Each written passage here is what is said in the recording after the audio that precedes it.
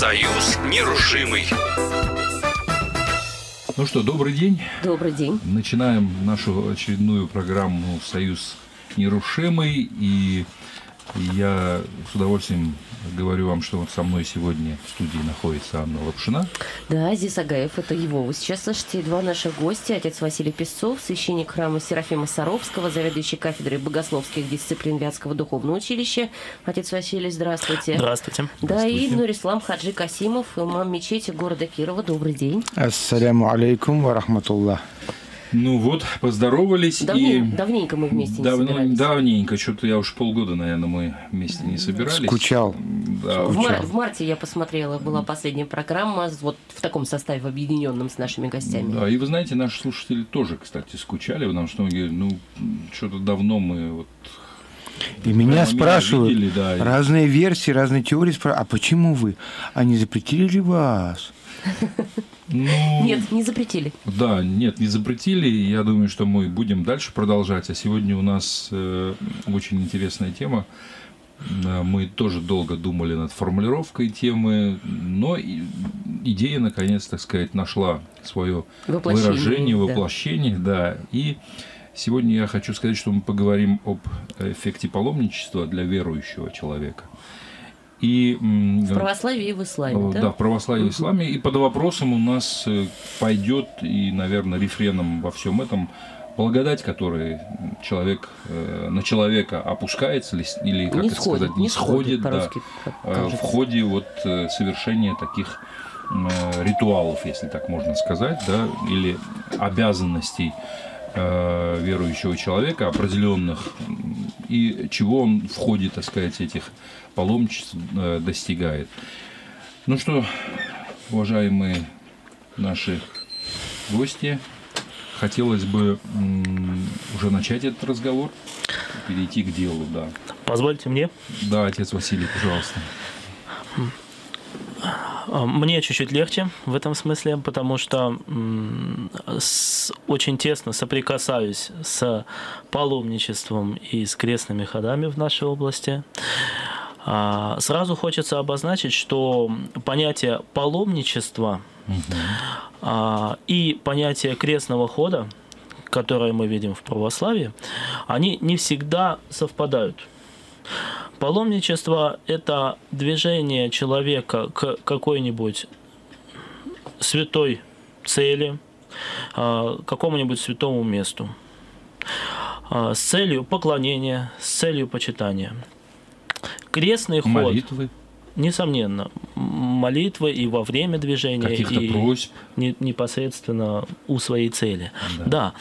А вот крестный ход, а, он не всегда бывает паломничеством, потому что он может носить еще и символический характер. Вот, например, в православной церкви есть а, небольшие крестные хода, например, на престольный праздник вокруг храма. Мы все помним ночной крестный ход во время праздника Пасхи, который символизирует движение мироносец к гробу Господню. Ну, наверное, вот в ходе вот этого второго по значимости праздника для православных, да, вот День Успения Святой Богородицы, тоже да, Да, проходил. тоже э, вот когда будет совершаться служба, олицетворяющая погребение Пресвятой Богородицы, апостолами тоже плащаница Пресвятой Богородицы обносится вокруг храма крестным ходом. Как мы видим, это не паломничество. Да? То есть в данном случае совершается шествие, шествие в, пред- в преднесении креста, поэтому это крестный ход, но при этом не имеющее задачи прийти куда-то. Оно, эта задача самым, самим своим шествием показать аналогию, показать олицетворение тех священных событий, которые почитаются в православной церкви. А а иногда эти э, цели могут совпадать, и И у нас есть пример в нашем да, регионе. Большой крестный Да, ход да. может быть назван одновременно и паломничеством. Вот на Вятке это Великорецкий крестный ход, большой крестный ход, который идет до места явления иконы Николая Чудотворца на реке с каждым Великой. годом, годом количество паломников увеличивается, если можно так сказать, да? Погода ухудшается при этом. Погода ухудшается, да, но количество увеличивается. И э, вот этот крестный ход можно одновременно называть, несомненно, крестным ходом и, несомненно, еще и паломничеством. А, И поэтому, если сосредоточиться на крестном ходу, то можно выделить несколько важных признаков, которые крестный ход делает крестным ходом. Ну, во-первых, он всегда совершается за в предшествии, в преднесении креста. Во многом в народе он именно поэтому и назван крестным ходом. А, Это имеет глубокое символическое значение. Мы помним, что когда Господь Иисус Христос был приговорен на смерть через распятие на кресте, этот крест его на него положили воины и заставили этот крест Самому тащить. тащить самому через Иерусалим, претерпевая насмешки, надругательства, тяжесть этого тяжелейшего креста а, до места своего распятия. Собственно говоря, вот если вы попадете в Иерусалим, то есть такая Виа Дела Росса, то есть а, путь страданий, м, который показывает, где Христос шел с крестом. И а, христиане, когда идут за крестом, они символически вспоминают вот этот момент, который предшествовал самому важному искуплению человеческого рода на кресте через смерть Господа Иисуса Христа и Его воскресение. Второй важной, э, важной особенностью крестного хода является, конечно же, молитва во время этого крестного хода. То есть невозможно просто взять крест и просто пойти. Это не будет крестным ходом. А вот пойти с молитвой это уже и будет крестный ход. Потому что крестный ход без молитвы – это просто физическое упражнение. Можно этот же путь великорецкий взять, сесть на велосипед и проехать. Это будет нелегко, надо сказать. Это особенная молитва, Да. Но тем не менее... Нет, это такая же молитва, как и всегда. Но, поверьте, в крестном ходу она отличается очень сильно, потому что условия совершенно другие, а, силы, которые ты вкладываешь в это, совершенно другие. И благодать, которую Господь тебе дает, я совершенно в этом уверен, тоже совершенно намного больше. Поэтому и молитва получается особой. Именно поэтому люди так любят крестный ход. Потому что он дает им возможность их молитву сделать намного сильнее. То есть это вот две особенности, отличающие крестный ход от э, других паломничеств. да? Других паломничеств или простого путешествия. Или простого. Конечно, тут еще надо, можно внести, я еще немножко займу времени, А, маленькое уточнение. Сейчас еще появились некие м, вариации крестных ходов, которые не связаны с пешим путешествием. Там, крестный ход на машинах, крестный ход на велосипедах, на На мотоциклах. байках. На мотоциклах, Ну, да. ну, Но и как-то я к этому отношусь так. э, А, так. Эти крестные ходы очень специфические, и далеко не все готовы их признавать крестными ходами. Хотя, конечно, церковь по ним не, не, не давала какого-то определенного суждения. Но, безусловно, именно пешее путешествие, то есть ходить так, как ходил Христос, он ведь не ехал, он шел, он нес свой крест. Это и есть одно из важнейших а, условий того, чтобы крестный ход был тем, как он задумывался, как, как он планировался нашими и предками, и опытом церкви.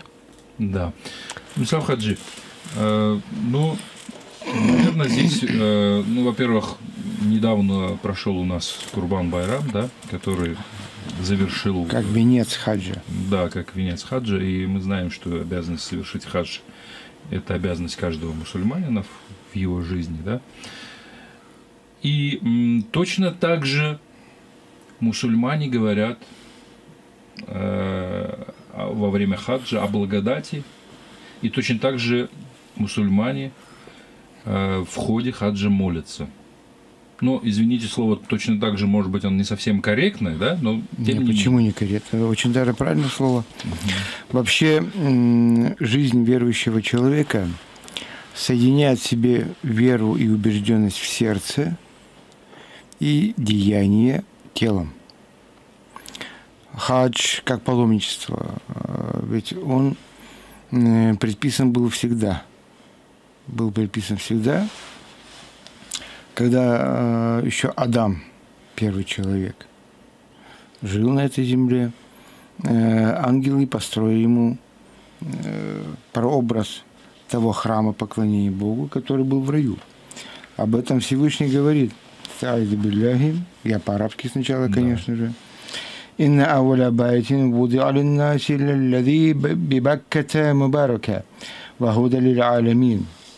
что означает поистине? первым домом, который воздвигнут для людей, является тот, кто, что находится в Мекке. Он воздвигнут как благословение и руководство для миров. И все пророки, и все посланники, естественно, совершали паломничество к нему. И когда главный ангел говорил по-арабски Джабраил, мир ему, обратился к пророку Мухаммаду, расскажи мне, что же такое ислам? Конечно в первую очередь было рассказано про веру, Да. которая в сердце, из чего она состоит. А вторым, э, второй очередью пошли деяния тела. Из них было, естественно, свидетельствование, что ты мусульманин.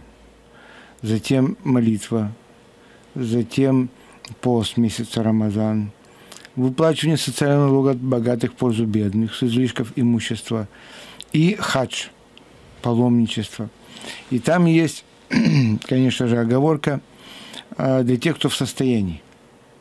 То есть, кто имеет физическую, финансовую возможность, здоровье, безопасность пути и так далее. И Аллах в Коране говорит, «Валилляхи аля наси хаджуль байти ман истатаа иляхи сабиля».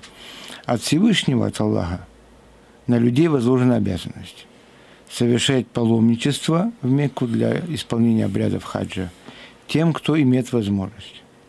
И когда мы же исполняем, совмещая свою убежденность и деяние тела, совершаем такой вид богослужения, так, полноценно, всецело мы предаемся своей вере, своей религии, от этого уже благодать происходит то, что Всевышний, довольствуясь нашими усилиями, нашими стараниями, здесь можно вот в этом плане взять и православный Великорецкий крестный ход.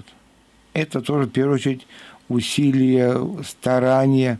Даже, как отец Василий говорит, вот новые варианты есть на машинах, на байках и так далее. Э, Мы тоже из Кирова едем в хадж, сначала на самолете. Летим. Летим, едем на автобусах там и так далее. Добираемся до главного места, где совершаются обряды. На И- автобусе. Да, мы доезжаем до Мекки на автобусе после аэропорта и собираемся в том месте, где уже происходит э, движение нашим телом. То есть мы э, совершаем обход вокруг Каабы, мы совершаем бег между холмами Сафа и Марва, э, как делала мама пророка Исмаила, мир ему, э, между этими холмами, ища благость от Всевышнего, потому что она была в отчаянии же. Ни еды, ни питья, ничего нет, а с ребенком погибают в пустыне. И Всевышний ответил на их просьбы. И мы также, следуя примерам пророков всех, совершаем молитвы в этих местах. Мы прилагаем усилия. И вот это все вместе, искренняя молитва от сердца, совмещенная с усилиями, движениями тела, это есть паломничество – наше приложение сил, там очень тяжело. Очень тяжело. То есть, несмотря на то, что вы до Мекки доезжаете, э, Долетаете, значит, да, долетаете, доезжаете на автобусе, то Мгм. все равно э, вот это паломничество, оно э, связано с какими-то физическими... Там все пешком уже То делается. есть там тру- труд, вот этот вот То есть, труд, э, э, который... а то, а то ведь впечатление какое создается. надо. Значит, собрались мусульмане, прилетели на самолетике, пересели, значит, На на, комфортабельный на автобус комфортабельный автобус, да. доехали до Мекки, помолились и разошлись. Вот один э, таваф, то есть обход Каабы семикратный, Да. э, я его совершал в 2006 году. Это было в декабре. Один таваф – это час Да, примет времени ваши пешком, час, обязательно пешком, обязательно босиком. Сгорала черепушка. У нас же у меня От жары, от жары. от солнца. Да, а головной убор нельзя одевать. Так.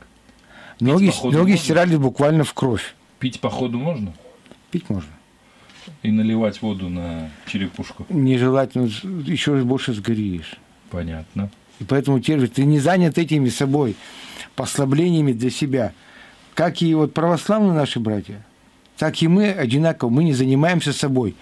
Там люди, пришедшие, они вот, вот представьте себе, То есть они не ощущают в это время. Вот, кстати, это уже вопрос, мы уже Да. переходим к некому отвергают эффекту. свои потребности Ага. личные, отвергают То есть просто. в, в этот момент ты понимаешь, что нужно потерпеть, да, чтобы вот сделать то, что нужно. Или ты не ощущаешь. Или ты не ощущаешь. Скорее не ощущаешь даже. Настолько э, увлечен, завлечен, поглощен благостью этих мест. Вот представляете, там есть, вот когда э, мечеть заходишь в Мекке, Мгм. главная мечеть в мире, и идешь путь до Каабы, она в центре ее. Да. И там есть некая граница, которую переходишь, и вот у всех практически так бывает, наверное. Невидимая граница. Проходишь, видишь Каабу и начинают течь слезы. Мгм. Вот я там с двумя муфтиями шли, они старики уже. Мы все идем плачем. Просто видим Каабу. Мы достигли. Мгм. Мы достигли главной цели своей жизни. Мы достигли Каабы. И в ходе, так сказать, этого э, паломничества и движения вы молитесь. Обязательно. Каждый шаг. Каждый шаг с молитвой. Что вы просите у Бога? Самая главная молитва там идет Раббана атина фид дунья хасана, ва фил ахирати хасана, вакина азабаннар. Господь наш, дай нам благо в этой жизни. Господь наш, дай нам благо в будущей жизни. И защити нас от огня ада. Мгм. Вот И это главное. самое главное. Это самое главное. Понятно. Возвращаемся к отцу Василию. Да. Тот, тот же вопрос. Во время Великорецкого крестного хода три дня туда, два дня пути назад еще, да. Не все выдерживают, кстати, полностью. А, тоже, Каждый по-разному, Тоже да. с погодой, с погодой, вы уже сказали, да, каждый год погода все В хуже. прошлом году было особенно весело. А, Возможно, наши жители помнят, сколь непросто было в прошлом году с погодой, прошлым летом. Вот. Мы там шли, все плыло, мы там плыли, то есть если грязь сантиметров 10-15, Это хорошо. Это идешь по суху, да. Вот если уже там выше а, щиколоток этих э, сапог, то надо смотреть уже, куда наступаешь. Там был такой эпизод забавный, ну как забавный, тогда он не очень забавным показался. Представляете, многотысячный крестный ход идет, достаточно узкий мостик, полноводная речка, которая очень полноводной стала Мгм. в тот момент. В результате дождей, да. И- Да, и, представляете, этот мостик, после того, как проходит икона, проходит еще несколько сот человек, и он просто ру- рухнул. Рухнул. А огромный ручей такой огромный. Там, Не перейти вброд. Там и парни, которые там вот на- впереди шли, там на- они прыгают в реку, и чуть ли не по пояс, не по, по, по плечи в воде. Держат кре- этот крепят мостик. буквально там, да, под- крепят, э, держат этот мост, э, пока вот основная масса людей, потому что всем же тяжело, потому что ст- стоять, э, ждать, пока мост починят, там тоже это тяжело, это все душно в лесу. Мгм. Вот, и они вот такие, такой маленький подвиг совершили, мы как смотрели на них, просто удивлялись. Ну, не маленький подвиг. Да. Они стали э, помощниками Садапчи, по-нашему, Да. для того, чтобы тысячи людей совершили вот этот богослужение. А, Тут, э, конечно, таких случаев можно приводить э, сотни из крестного хода, и у каждого есть совершенно удивительные рассказы. А, а, У меня всегда, я всегда только двоих вспоминаю ребят, которые до сих пор ходят с нами в крестный ход, десантники бывшие, крепкие, очень крепкие парни, которые пошли в крестный ход, и где-то, ну, с, ощущ- с ощущением, ну, сейчас-то мы всех, собственно говоря, сделаем, такой, мы и больше Марс башки делали. Вот, и где-то они уже там, ну, в конце второго дня, километре на, на, на 60-м или 70-м уже все садятся и говорят, все, я никуда дальше, Дальше я не пойду». могу, да. Вот. Ну, то есть И- они, а- они Что значит пошли хода? без веры, как бы Да, душе, и- наверное? Или Да. добрались они все-таки? Их подхватывая, подхватил один из наших прихожан, говорит, ну ладно, пойдем потихонечку, так потихонечку. И вот когда он опять начинает, э, начинал, так сказать, стонать, он, значит, говорит, ну, а как же пострадать? И так вот, и у них это вот этот вот в мем вошло, вот это, а как же пострадать? И они вот когда до сих пор шутят друг над другом, они так друг над другом шутят, а как же пострадать? Но на самом деле это не шутка, это действительно э, то, ради чего э, туда люди идут. Пострадать. Пострадать, чтобы хотя бы отчасти немножко а, в себе а, через страдания, через а, труд напомнить себе, что за тебя, за тебя-то Христос отдал свою жизнь, претерпел страдания и смерть. Вот, ради твоего спасения, спасения твоей души. Что ж ты в своей суете и повседневности, в своих греховных пороках все это отвергаешь? Где твоя благодарность Богу? И вот когда там, в крестном ходу, ты проходишь через все эти испытания, ты прежде всего открываешься по-новому для самого себя. Совершенно удивительно, я постоянно каждый ловит себя на мысли, что совершенно меняются приоритеты. приоритеты. Неважно, как ты одет, неважно, насколько дорогой у тебя в пакете э, в в твоем рюкзаке валяется твой гаджет, там, телефон, как какая пища там у тебя. На какой машине ты ездишь, да, какую пищу там ты приходишь на привал, падаешь, это, раскрываешь какой-нибудь там, э, какой-нибудь кусок хлеба там, или за счастье там доширак удается заварить, и все, и ты счастлив. И ты вот, вот этот момент, когда ты понимаешь, что ты падаешь, сначала садишься, тебе облегчение в ногах, потом ты немножко покушал, ты понимаешь, сколь мало человеку на самом деле нужно для подлинного счастья. Ему нужно только минимальные потребности и общение с Богом. И вот когда Господь рядом с тобой, когда твоя душа наполнена молитвой, когда твоя душа не страдает, тогда и все немощи твоего тела не кажутся такими страшными. Вот вы спросили ведь правильно, а что, как человек воспринимает все эти немощи? Что они исчезают, что ли? Да нет. Боль в наших мышцах никуда не исчезает. Да? Наша э, сгоревшая кожа на солнце тоже не перестает болеть. Но это все, начина... но это все кажется мелким и незначительным по сравнению с тем воодушевлением, воодушевлением, с той благодатью, которая наполняет твое сердце, когда ты осознаешь, что ты хоть чуть-чуть, но стал ближе ближе к Богу. Господь, когда приближается к человеку, все абсолютно, что раньше было в нашей жизни ценным, становится совершенно маловажным и малозначительным. Отец Василий, вот слово «благодать» употребляете, а вот для многих это ну, до сих пор как бы вот не очень не, понятно, некая что это, тайна. Да. Вот что, э, вот что это за ощущение, да? Ну вот хорошо, окей, ты сел, э, ноги, значит... Ноги не болят, ноги а ты отдыхаешь. Не болят, ты чуть-чуть принял там пищу, ведь э, вот это ощущение счастья, это и есть благодать, или там еще что-то есть? Никто, я не могу дать да, ну, определение Хаджи, благодати. Вы тоже к этому Потому вопросу. что а, если брать с точки зрения вот, определения нашей веры, то благодать это, это сила, которую которой Господь не сходит в душу человека. Это действие а, божественной силы на человека. И осознать это как бы ну, не всегда... Как, ос, как вы ее осознаете, как вы ее почувствуете, это совершенно удив... Э, уникально для каждого человека. То есть каждый по-разному ощущает. Это часть веры? Несомненно. Несомненно, это часть веры, это часть нашей жизни, это частичка нашей души. Я вот э, перед э, передачей вам говорил, что вот э, показали мне как бы фотографию человека, идущего босиком в этом холоде и сырости на, в крестный ход. Угу. И на фотографии было видно, вот так сфотографировали, как лучики солнца падают на пятки этого э, идущего. Ну, и это тоже есть часть благодати. Благодать может проявляться по-разному. Чаще всего, конечно, Господь не дает нам видеть эту благодать физическим образом через физические явления там, света и так далее, или нет варного света, как это уже не физическое явление, как говорил Григорий Палама, но а, а чаще всего э, человек чувствует это прежде всего в своем сердце.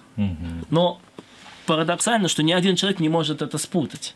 Вот каждый человек чувствует это по-своему, но ни один человек не может э, сказать, что вот меня, вот этот момент, вот я был рядом с Богом, и вот что-то было другое. И вот вы были рядом с Богом во время крестного хода в 2006 году? У меня опыт личный, я только своим личным опытом в этом ну, смысле конечно. делюсь. Да. Потому что у каждого свой. Я же первый раз пошел, в 2000, приехал сюда в 2011, а и в 2011 я еще не ходил. Вот. Пошел э, только на следующий год, потому что мне стало интересно. о чем же люди так говорят? Что так восторгает людей в крестном ходу, вот именно в Великолецком? Вы уже были тогда в Сане? Да, я был священником, угу. вот, но я вот длительные такие крестные хода не ходил. А вот послед... на следующий э, э, год пошел, и это произвело на меня такое впечатление, что я вот уже до, до этого года каждый год хожу уже, наверное, может быть, шестой или седьмой раз подряд хожу. Вот. А, а что я... А, у меня лично, знаете, какое впечатление получил, появилось? Я как будто оказался в детстве. Вот в детстве, в том самом детстве, когда ты еще, будучи маленьким, когда тебя приводила мама в храм. Когда тебя все любят. А, когда ты приходишь Заботиться. в храм и вот а, чувствуешь а, и ощущаешь и службу церковную, и слушаешь службу, и видишь это незамутненным детским взглядом, не, не вот такому, и воспринимаешь проповедь о Боге и молитву к Богу именно вот этим чистым, чистым детским сердцем. Потом мы это все теряем в нашей жизни. Это все поглощается нашей суетой, кучами наших проблем, нашей гордости, страстями. Но вот в этот момент, когда все от меня э, на какой-то момент ушло, я, я подумал, да это же те же самые ощущения, та же самая детская радость, которая э, была у меня тогда, когда я вот только вот только делал свои первые шаги в храме. И вот это для меня, ну понимаете, что каждый, может быть, у каждого это по-разному, но вот это на меня произвело такое впечатление, что каждый раз раз я теперь жду вот этого момента, этого крестного хода, чтобы немножко выйти из своей повседневной жизни и опять оказаться там. Потом таких ощущений в следующих крестных ходах уже не было, конечно. Вот. Но, но были другие еще. Но все равно каждый раз я сходил, я, я схожу, и у меня это такое, как, знаете, как заряд бодрости, заряд, а, заряд все духовной силы, которые я получил и которым я буквально питаюсь, как от батарейки все оставшееся время. Судя по вашим глазам и выражениям, да. вы не можете найти слов в русском языке, чтобы выразить эти ощущения.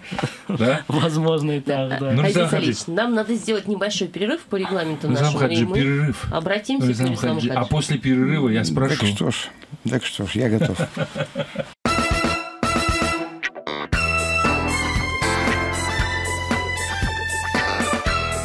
Союз нерушимый.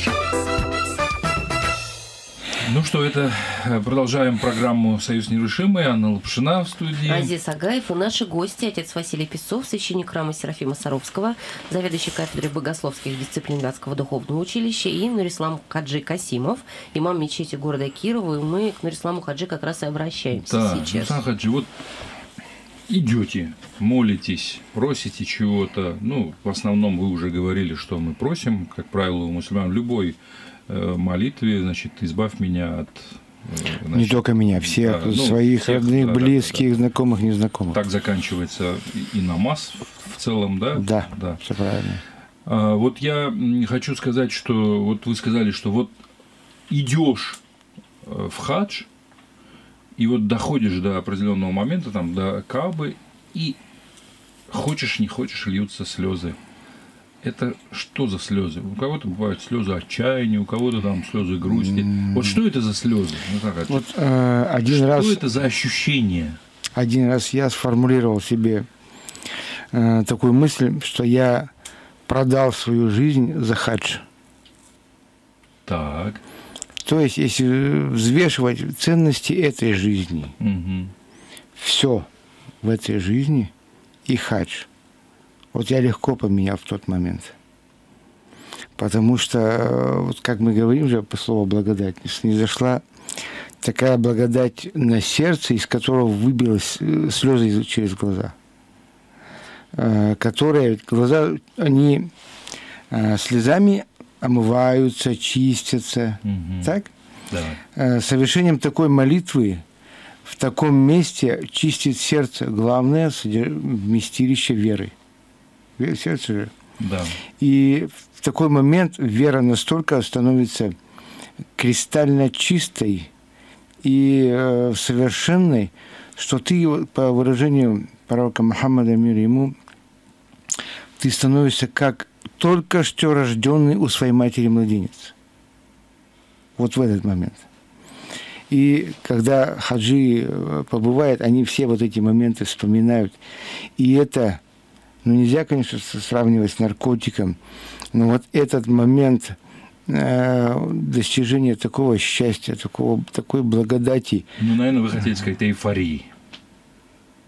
Меня эйфория поймала, когда я посетил пророка Мухаммада его могилу. Понятно. А здесь не эйфория, здесь вот, вот такой э, не улет даже, а ощущение, что ты стал э, настоящим верующим человеком. Вот настоящим верующим человеком. Ты э, в месте, где молитва э, по своей весомости перед Всевышним в сто тысяч раз весомой молитвы в любой другой мечети в мире. Можно говорить об очищении, о Да, О умиротворении каком-то. Да. да. да, люди там сидят сутками, живут в этой мечети.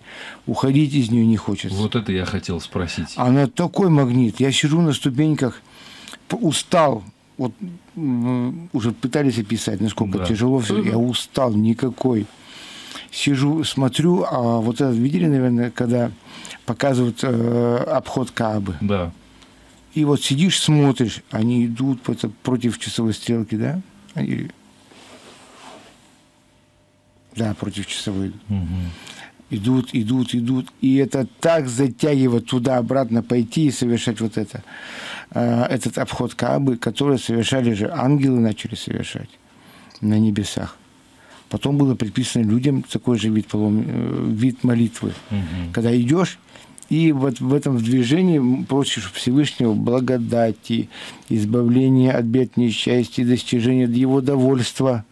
Это главная цель. Ну да. достижение довольства Все Всевышнего делается для удовольствия и просишь для своих родных, близких, вот в этом все идешь и просишь, просишь, просишь, просишь.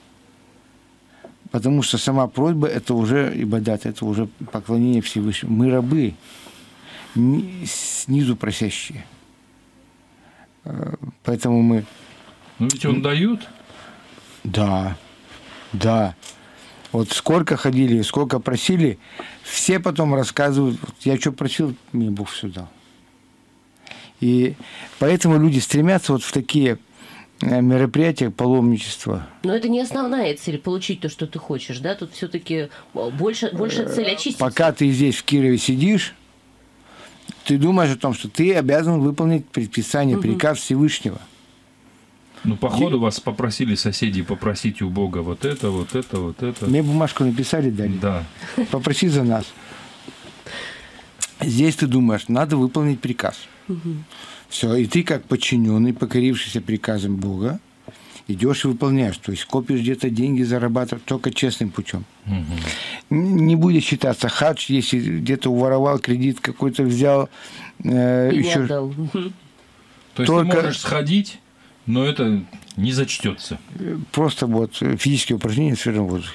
Это как отец Василий говорит. Да, я очень точно сказал. Вот. Здесь ты заработал, побеспокоился о семье. Ты практически пошел последний раз в своей жизни Мгм. с намерением, что такого больше не будет у тебя. Все оставил, все отбросил и туда э, пошел в паломничество в этом. Туда пришел, туда попал. И там начинается у тебя на каждом шагу эта история ислама. На каждом шагу примеры, как благословенный пророк Мухаммад совершал свои молитвы Богу. И вот э, начинается постоянно, там спишь вообще мало Мгм. в таких местах. Спать некогда. Это сон, это, А воров- хочется? это воровство у своего времени. То есть такое Ну, ощущение. ну, Рислам Хаджи сейчас рассказывает, и я вспоминаю, что в Великорецком-то тоже спать некогда. Там тоже приходит поздно вечером, молитва там, пока Ну да. ужин, то все, а утром же встают очень рано. Старт 2 часа ночи, да. Мгм. Можно я еще добавлю один, э, как мне кажется, для меня важный момент? Хотел бы уточнить. Мы сейчас говорили о, употребляли такие термины о эйфории, о таком восторге. Тут надо немножко э, нашим слушателям уточнить, что это принципиальная, разни, э, принципиально различная вещь э, по отношению к нашим достаточно распространенным житейским эйфориям. Да? То есть Ну, конечно, никогда нет, в случае У У нас просто, отец Василий, нет других Да. слов, вы понимаете, вот как бы мы можем найти другие слова, но это все равно будут человеческие слова, Когда а не божественные ощущения. Да. Когда Понимаете? твоя любимая команда выигрывает, там, допустим, чемпионат, тебе тоже там хочется Тебе до, тоже хорошо, до неба да, прыгать. Да, да, момент. да, Да, не да. будем грешить и сравнивать Вот. два Конечно. э, Но таких, э, это а, э, непосредственно действие Божьей благодати. И вот здесь тебе не просто, это не просто какая-то эйфория, не просто какой-то восторг, это духовные силы, которые тебя питают для того, чтобы ты дальше шел, делал доброе. Э, После этого, э, по- после этого тебе не просто хочется прыгать от сил, а тебе хочется помочь ближнему, обнять идущего рядом с тобой. Недаром вот в крестном ходу мы такое огро- огромное количество взаимопомощи, самопожертвования видим, да. да, потому что люди просто не могут не излить вот ту любовь, которую им Господь излил в сердце на соседа, на своего соседа. Ну, 15 Глав- секунд главное же, вернувшись, не потерять это все. Конечно, ощущение это, да? Эти настрой. Настрой. Вот настрой. говорил.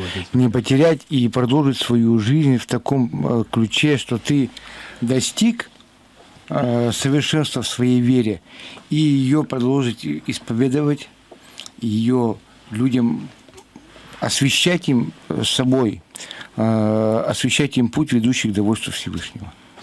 Ну что, спасибо нашим гостям. Нурислам Хаджи Касимов, отец Василий Песцов, Да. Анна Лапшина. И я здесь, Агай, к сожалению, программу надо заканчивать. Как всегда, не успели столько Столько еще вот Ну, еще покопаем, как сказал да, но мы Нурислам гостей, Хаджи. гостей наших, конечно, увидим в этой студии Да. еще. До свидания. Инша Аллах. Спасибо свидания. большое, до свидания. Ва алейкум ассалям.